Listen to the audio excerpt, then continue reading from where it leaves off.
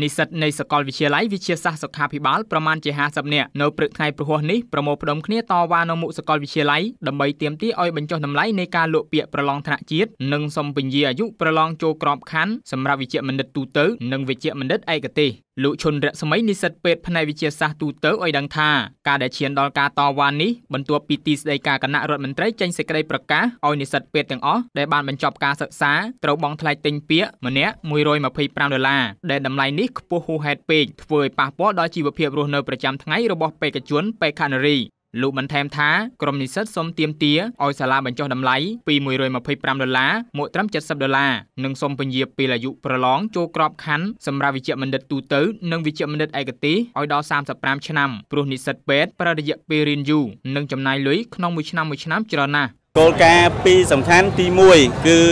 បញ្ចុះតម្លៃឬក៏អាចប្រព្រឹត្តទៅបានដោយមិនបាច់យកថ្លៃដាក់ពាក្យណាទី2គឺការកំណត់អាយុឲ្យបានវែងសម្រាប់អឺ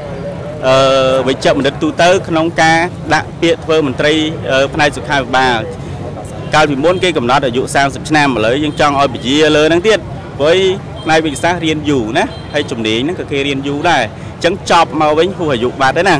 មានអីត្រូវកើតណាហើយហើយយើងគិតមើលថានិស្សិតមួយដែលអត់តន់រលុយឲ្យបានសោះហើយឲ្យគ្នាចំណាយ លុយរហូតដល់140ដុល្លារហើយត្រូវធ្វើនិខេបប័ណ្ណចំណាយរាប់ពាន់ដុល្លារមុននឹងចេញធ្វើវិជ្ជាបណ្ឌិតតើគ្នាត្រូវរលុយមកពីណាលោកមនីដែលក្រុមនិស្សិតអះអាងថាជាអ្នកនាំពាក្យរបស់សាកលវិទ្យាល័យវិទ្យាសាស្ត្រសុខាភិបាលបដិសេធធ្វើបទសម្ភាសន៍ជាមួយនឹងអ្នកសារព័ត៌មានចំពោះករណីនេះតែទោះបីយ៉ាងណាបើយោងតាមការអះអាងរបស់ក្រុមនិស្សិតឲ្យដឹងថានៅរសៀលម៉ោង3ថ្ងៃព្រហស្បតិ៍នេះខាងសាលានឹងធ្វើការសម្របសម្រួលរវាងក្រុមនិស្សិតនិងស្ថាប័នពាក់ព័ន្ធដើម្បីធ្វើការដោះស្រាយ VOD មិនអាចសុំការឆ្លើយតបពីលោកផៃសិផានអ្នកនាំពាក្យទីស្តីការគណៈរដ្ឋមន្ត្រីបានទេខណៈលោកមុំប៊ុនហេងរដ្ឋមន្ត្រីក្រសួងសុខាភិបាលបដិសេធធ្វើអត្ថាធិប្បាយដោយលោកអះអាងថាកំពុងជារវល់អាឡូហេសួរជំរាបសួរអេដាមក្មួយទូរស័ព្ទទៅពីវិទ្យុ VOD ទៅអេដាមបាទកំពុងស្រុកប្រជុំ គូបញ្ជាក់ថាកន្លងទៅថ្មីថ្មីនេះទីស្តីការគណៈរដ្ឋមន្ត្រីបានចេញសេចក្តីប្រកាសមួយទៅកាន់គ្រឹះស្ថានបណ្ដុះបណ្ដាលផ្នែកសុខាភិបាលនៅកម្ពុជាឲ្យនិស្សិតពេទ្យទាំងអស់ដែលបញ្ចប់ការសិក្សាឆ្នាំ2013-2014ត្រូវដាក់ពាក្យប្រឡងថ្នាក់ជាតិដែលនឹងប្រព្រឹត្តទៅនៅថ្ងៃទី